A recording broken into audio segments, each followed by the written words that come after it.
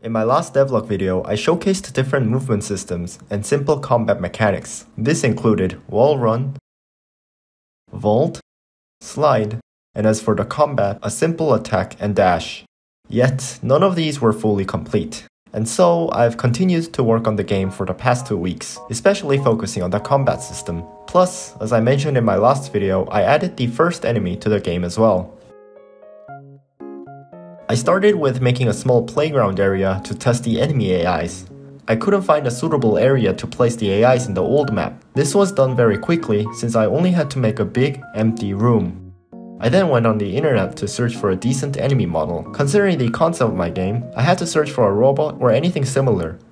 Oh wait, you might be asking, what exactly is the concept of the game? And to that, I haven't made a clear indication just yet. And the reason for this is because I personally think it might be a bit more engaging if I slowly reveal the concept throughout my devlog series.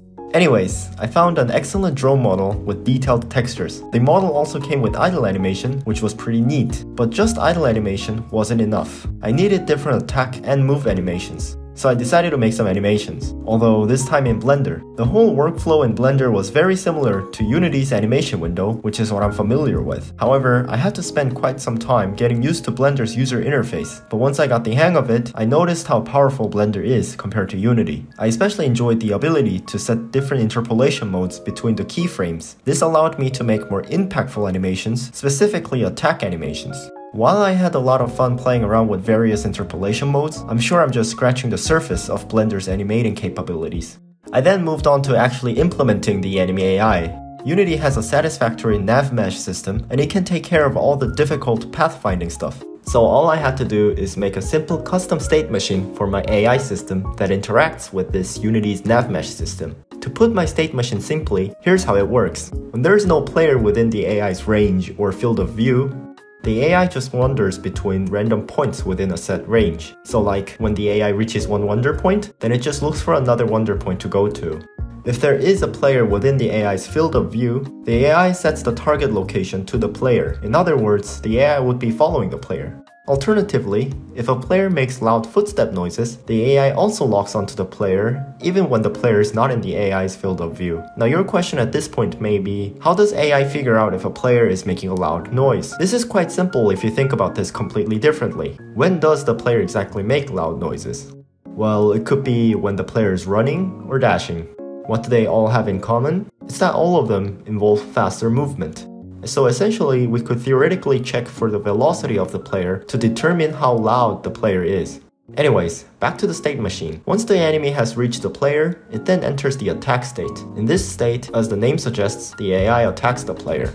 Now obviously this is a very simple AI state machine, but as of right now, I think it's good enough. Everything worked flawlessly, except I've encountered one small problem. When there are more than one enemy chasing the player, they seem to sort of pile up together and block each other's paths to the player. This is because Unity's navmesh agents aren't capable of dodging each other in real time. Obviously, this isn't the behavior I want in my game. To be fair, there is a navmesh component called navmesh obstacle, and it allows the agents to avoid an object with this component real time. But according to Unity's documentation, one should not have both navmesh obstacle and agent on the same game object. So I searched on the internet to find a workaround, and I found a great substitute for Unity's navmesh system, and it's called Custom Navmesh.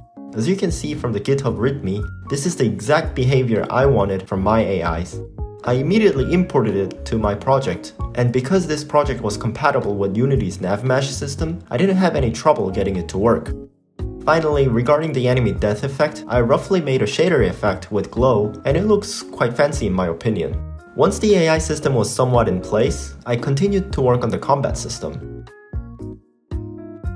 For this game, I wanted to have two combat modes for different ranges, one of them being the neutral, long-range combat mode, and another one being the close-range combat system. Basically, when the player is in the neutral stance, it's optimal for moving quickly by dashing longer distances while still being able to slash enemies. In close range stance, the player is able to combo different attacks and dash quicker but shorter. So I expect the player to dash towards the enemy with long range combat mode and then switch to close range combat mode to get into the actual fight. As shown in my previous devlog, the long range combat system is already done, so I only had to work on the close range combat system. I actually had to research a little bit to see some of the real-life knife attacks that can be performed in short range to make animations. After that, with the idea in mind, as always, I began by making the animations for close range combat and I did it using Unity's animation window. Hold on, did it just say you were gonna make all the animations using Blender? Next time I'm animating, I'll Blender for certain. Listen, turns out the knife that I'm using isn't rigged, and I don't know how to rig a weapon in Blender, and I also don't know how to connect the FPS arm with the knife.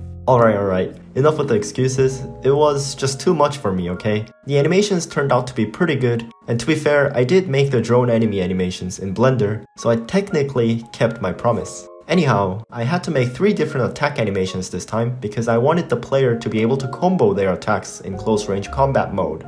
I made these animations based on real Filipino martial art moves. Here's how it looks in the end.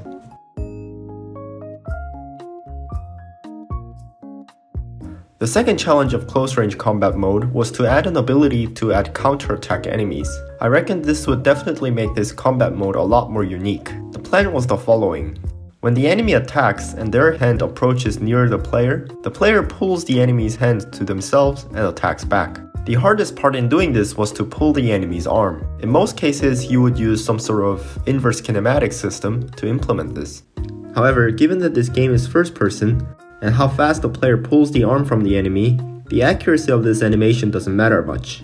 With this in mind, all I had to do was play two animations separately, one from the drone and another one from the player simultaneously, so it mostly seems like the enemy is being pulled. Otherwise, I've also added a simple particle system when the player attacks something. This was done quite easily by adjusting Unity's particle pack, which is free to use.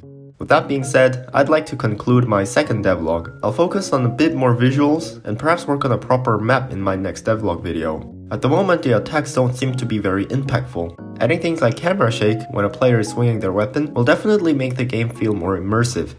Thanks for watching, this has been Semikoder, and I kind of know how to code.